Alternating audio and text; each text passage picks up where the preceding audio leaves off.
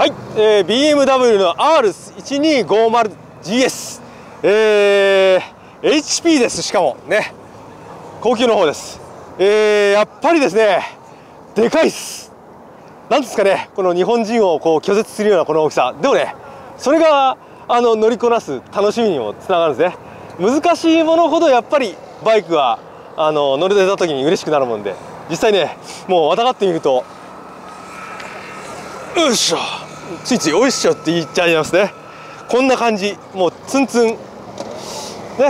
このツンツンなところをあえて平然と乗るのがやっぱりね GS 乗りのすごいとこじゃないと思いましたからね。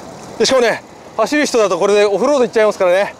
実際ねオフロードもちゃんと走れるようにできてるんですよね。あのモード切り替えもちゃんとオフロードモードありますしサスペンションのストロークとかあのタイヤの大きさとかあのその辺もちゃんとオフロードを考えて作られてるんですね。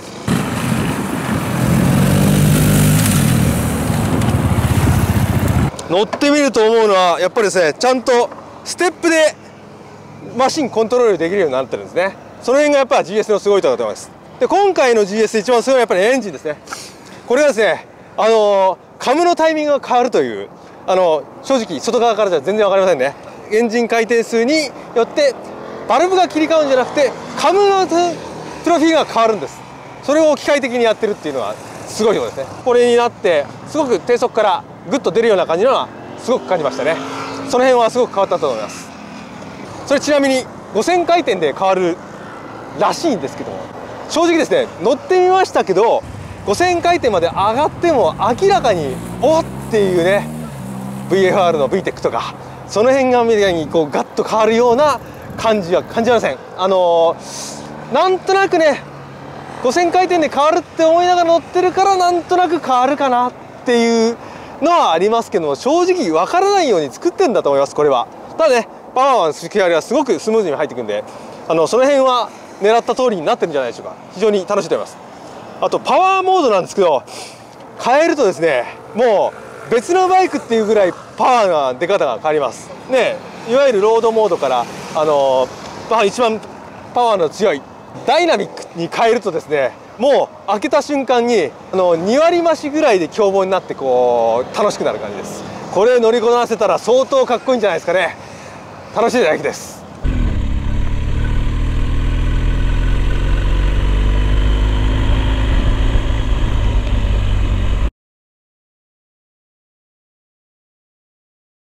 はい超巨大アドベンチャー GS えー、センタースタンドかけられるかな？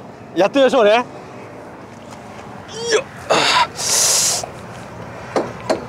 両側つけてはポイント。よっ。意外にいけましたね。で下ろすのが怖いんですねこれね。で一番簡単な方法ちょっとねこの人から聞いた方法で柏秀樹さんから教えてもらった方法なんですけどそれでやってみましょうね。まずギアを入れます。ギアを入れます。これ確実に。でちょっと切っときます。であともちろんサイドスタンド出すのは忘れずに。でこれを楽勝です。これだと間違いないです。あのちゃんとギア入れとけばね前にスッていくことないんで。でちょっとひねっとけば必ずバイクが降りた時にこっちに倒れてくるんで安心して下ろせるんじゃないでしょうか。是非センスター苦手の方は一度やってみるといいと思います。